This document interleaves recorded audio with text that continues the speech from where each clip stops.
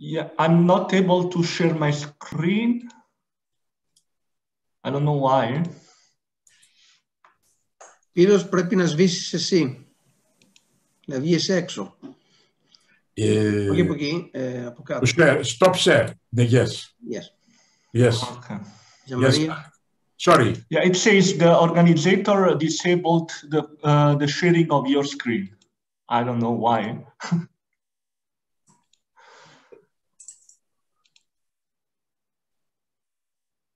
so I have the option to share the screen, but I cannot do that. Uh, the host can give you the permission. Try again uh, to share Yeah, this. now I can. Yeah. So can you see my Yes, we can. slide? Yeah. Yes, we can. So uh, everything is perfect. Okay, so uh, I am Gian Maria Bocchini, a postdoc at the University of Bochum in Germany, but the work that I will be presenting today has been carried out mostly dur- during my PhD at the National Observatory of Athens and in collaboration with the University of Kiel in Germany. Uh, before starting, I would like to acknowledge the contribution of several colleagues that are listed below and I also like to thank the organizing committee and Professor Caputo for having invited me to give this talk on slab dynamics and seismicity distribution in the Hellenic arc. So the term the term Hellenic arc is often used to refer to the arcuate shape of the Hellenic subduction systems, which is uh, nicely visible by the curvature of the, uh, the Hellenic arc of the Hellenides, which is the um, orogen associated to the Hellenic subduction system, and even by the distribution of the seismicity.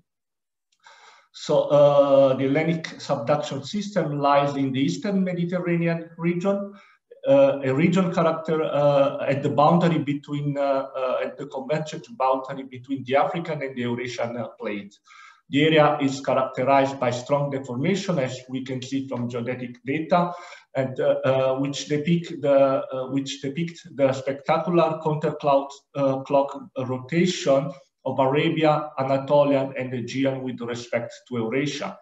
So with the, the velocity and uh, convergence that reaches uh, four centimeter per year at the Atlantic Trench. If we look a little bit more carefully, we see that these vectors increase towards the Atlantic Trench due to roll, rollback of the slab.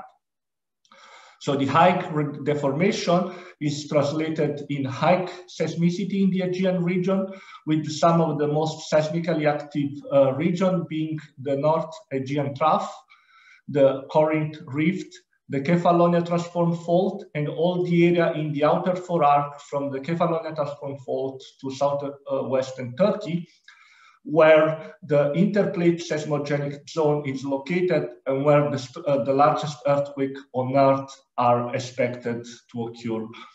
And here, if we also pay attention, we see that the central Aegean doesn't exhibit strong seismicity, while stronger seismicity we observe in the southeastern Aegean and at the border between Turkey and uh, Greece.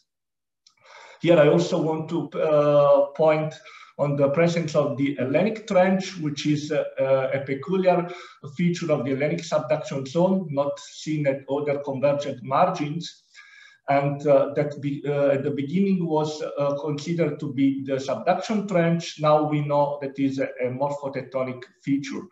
To the south of Crete, it takes uh, the name of Ptolemy, uh, Pliny, and Strabo uh, trenches. So how this beautiful area developed, it's, it has a very long sub, history and seismic tomography res, uh, result tell us that the slab is visible down to 1,500 kilometer depth, which has been reconciled with the subduction of, of three oceanic basins and two interposed continental platforms since middle late Jurassic, so more than uh, 200 million years of uh, subduction. So the last oceanic basin, basin is still subducting nowadays, while the last continental platform is still subducting to the north of the Kefalonia transform. So since the development of the subduction system, it has been migrating south-southwestward. Here I want to focus on the last 35 million year and looking at the, the reconstruction proposed by Jolivet et al. in 2013. So if we look at 35 million years, it's more or less the time when the Pindus Ocean closed, namely the last oceanic basin uh, subducted, consumed.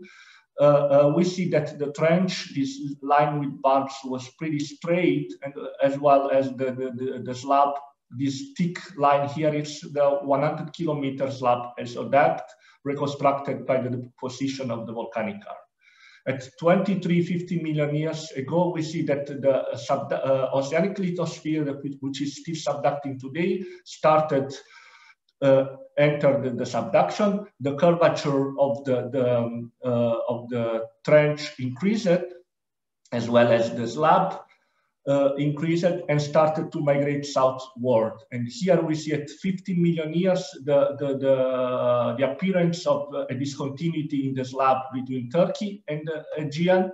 At 10 million years, we see that uh, the North Anatolian fault appears in the system, but only at about 5 million years it starts to interact with the Aegean tectonics. At 5 million years, we also see the development of a second discontinuity in the slab in the area of the Corinth uh, Rift. So this is the current situation where we have our subducting slab uh, uh, separated by uh, two discontinuity, which represent the eastern and western termination of the Hellenic subduction. So, so how do we know about this discontinuity in the slab? A good method to look for them is seismic tomography.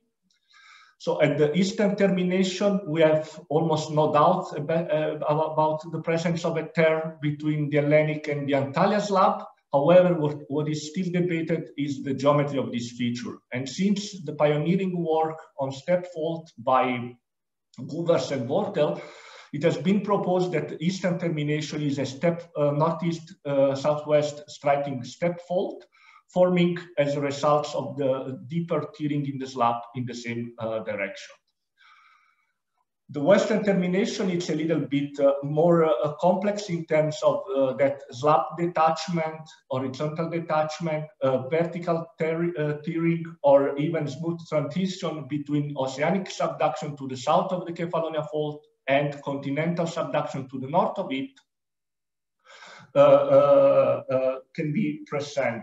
And so, uh, yeah, so uh, uh, Moreover, uh, another kind of discontinuity has been also proposed looking at the uh, based on the distribution of intermediate depth seismicity. And in particular, some people thought that the slab could be segmented somewhere between Crete and, uh, um, and Rhodos based on the geometry of the Wadati-Benioff zone and also in the, in the intensity of seismicity. Here, if we look at this uh, figure, we see a pretty well-defined Wadati-Benioff zone to, uh, down to 180 200 kilometer depth. We see a, a steeper slab in the area of Rhodos, number four here, with respect to the west of it. And also we see in this uh, Rhodos area a, a much uh, intense uh, intermediate depth seismicity. And also, as I, I, mentioned before, we see a slab down to 1,500 uh, kilometer depth, while the Wadati-Benioff zone reaches 180 kilometer. So from this short introduction, I, I formulated some of the, uh, of the open questions that I will try to address during the rest of my talk. So which is the geometry of the slab at its western and eastern termination? What causes the sharp increasing of the Wadati-Benioff zone dipping angle from west to east, what controls the down dip limit of the Wadati-Benioff zone, and how are sub, uh, subduction-related processes reflected in the distribution of seismicity. To do so, I used uh, uh, uh seismicity hypocenters from global and local networks. About the local networks, I had access to some of the best uh, catalogs available for the southeastern Aegean. And the idea was to refine the, uh, the, the, the, geometry of the seismically active uh, slab, starting from uh, uh, available models. And then with the, the, refined geometry, go to uh, uh, relate it to the distribution of seismicity, both at shallow and intermediate depth seismicity. Here I want to clarify that the, the, the, um, the um, the resolution of the slab, the model that we have is higher in the southeastern Aegean than to the west, because in the southeast we had access to local uh, uh, catalog from local seismic uh, networks. So now I start from the western termination. So here we see a plot of uh, intermediate depth seismicity at 20, uh, at uh, ranges of 20 kilometers from 60 to 80 to larger than 120. So here is the location of the Kefalonia transform fault. So if I would trace an ideal line on the continuation of the Kefalonia transform fault, we see that south of it, we, we have a seismically active slab, while north of it, we have a seismically not active slab.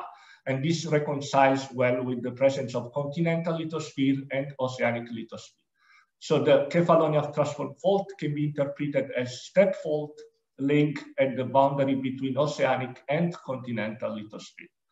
So if we look in the literature, this prolongation of the Kefalonia transform fault, it could be the Thesprotiko-Aliakmon fault zone, which activity terminated about 3.5 million years when the Gulf of Corinth uh, started to open. So here also, if uh, we see that, uh, and so the Gulf of Corinth, sorry, could have caused the migration of the strike slip deformation from this on-land structure to the Kefalonia transform fault and may even control the fact that the Kefalonia transform fault doesn't prolongate more uh, inland. So here it's also nice to notice how the, uh, the Corinth Rift is located in an area separating uh, to the south, we have a, a, a uh, deeper Wadati-Benioff zone, while north of it, the, the Wadati-Benioff zone reaches only 100, 120 kilometer depth. So in the area of Peloponnese, we performed some tectonic reconstruction, and we could see that the down deep extent of the uh, Wadati-Benioff zone is consistent with the amount of subducted oceanic lithosphere since about 15 million years ago. I didn't put more detail on this, but I have some slide in the end. If you like, we can discuss about that. If we move at the eastern termination, which is more relevant for the uh, uh, workshop of today, we see beneath south, uh, uh in the area of Rhodos, the presence, a, a clear uh, northwest dipping uh, Wadati-Benioff zone, and which it's not compatible with the presence of a step fault in this area of the uh, Pliny-Strabo Trench, because if a step fault is here, then we don't expect subduction in this direction, while we see it from seismicity. Then we have a northeastward dipping slab beneath uh, Turkey. This is the Antalya slab. And then between them, we see an area depleted in intermediate depth seismicity, which, which corresponds with the slab tear. So we can refine the geometry of the tear down to 180, 200 kilometer uh, depth.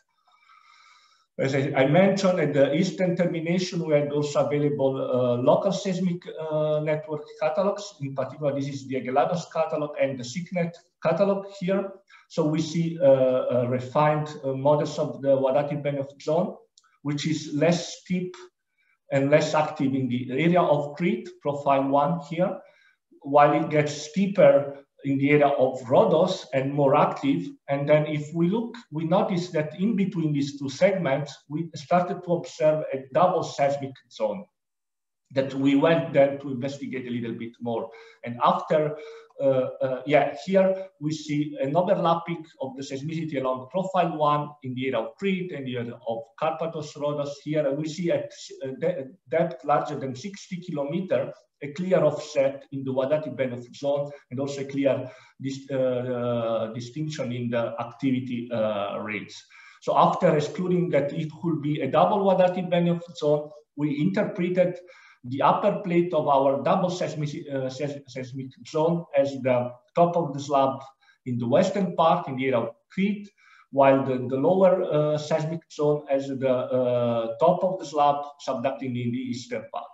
So if this is true, then this is, will be also compatible with the long strike shortening of the slab, which is nicely uh, uh, visible from the inversion of focal intra-slab focal mechanism solution. So by combining all the information coming from the seismicity, we propose a new uh, refined slab geometry. So I walk you through, through the most important part of the model. So in Northern Greece, we used uh, published data from uh, receiver function because uh, the slab, uh, the continental uh, slab here is not seismically active. Then moving towards source, there is a, a, a vertical discontinuity separating this continental slab from the oceanic slab. Then uh, we have the Kefalonia transform fault that lies along north edge of the oceanic slab and represents a step fault. Then moving towards east, we have the first order segmentation of slab with visible at depth larger than uh, 60 kilometer, separating a shallower and wider segment from a, a narrower and steeper segment. And the causes of this segmentation could be due to the aging of the slab from west to east as nicely shown by also, for instance, uh, seismic uh, magnetic, sorry, magnetic data, which indicate a, a, younger slab in the Ionian area and older slab in the Eratosthus uh, basin. And then we have the tear in the slab separating the Hellenic slab from the Antalya uh, slab. So the, the, the, formation of this tear in the slab together with the, the, the, first order segmentation enhanced the curvature of the slab and also the asymmetry in the curvature that we see today. This is nothing else than a 3D model of this 2D uh, map view and uh, with the gray are the expected mantle flow uh, um, in gray here and while in white we have the relative motion between the different uh, uh, segments. So we wanted to check how this, uh, the, the, geometry of the slab relates with the distribution of seismicity. What we see in this picture are uh, uh several seismic profile along strike. Uh, and uh, uh, for we tried to separate interplate seismicity from intermediate depth seismicity along this four profile, and we see a clear inversion in terms of released seismic moment in the segments lying above the western slab segment and in the segment lying above the eastern slab segment. Namely, to the west, most of the uh, seismic moment is released by interplate event, while going to the east, we have a more uh, and higher release by intermediate depth uh, events. So this slab segmentation affects the moment release of interplate and intermediate depth seismicity in the Hellenic subduction uh, system. Also, we wanted to check, uh, as if you remember in the first slide, I showed how the central Aegean doesn't exhibit strong seismicity, while stronger seismicity and stronger deformation is visible in the southeastern uh, Aegean. Here, uh, we tried to reconstruct the deformation pattern, combining uh, seismicity data Uh, uh, uh, focal mechanism data and geodetic data. And altogether, this seemed to indicate the detachment of the southeastern Aegean with respect to the central Aegean and Peloponnese. Here we see these velocity vectors uh, with the velocity increasing towards the trench that would be compatible with the presence of a steeper slab in the area and with enhanced rollback. And also this focal mechanism, some also from recent earthquake here, they are compatible with this interpretation of uh, detachment of the southeasternmost part with respect to the central and uh, Aegean and Peloponnese. So this slab segmentation seems also to affect upper plate uh, deformation, giving rise to high deformation in the southeastern uh, Aegean.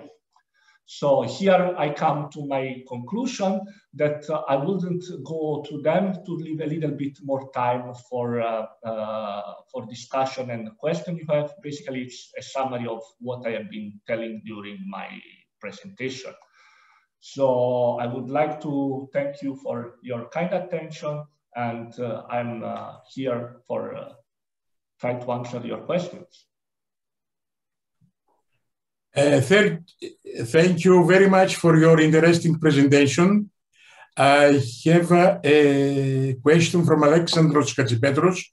Do you have any information on slab uh, tearing or slab uh, delamination in Central Aegean, north of the area you presented?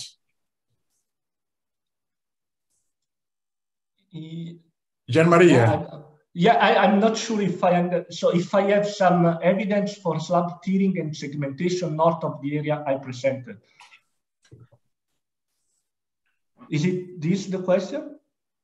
Uh, if you have uh, any information on slab tearing or slab delamination in central region, north of the area uh, you presented. I mean, there are now some uh, new studies from uh, full waveform inversion where they present these nice uh, models for, uh, but it's more about the area of the Kefalonia fault and the Corinth, uh, Corinth rift.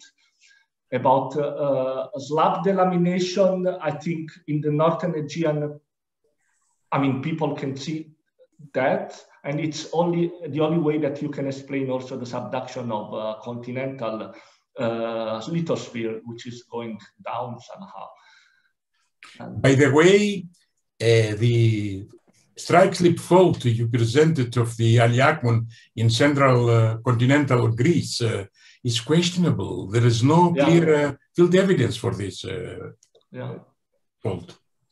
Yeah, that's why I, I, put a dot line and I mentioned that it could represent this fault, but I mean, we don't know. That's if this could be the, the answer.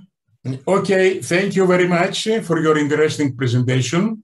Please. Uh...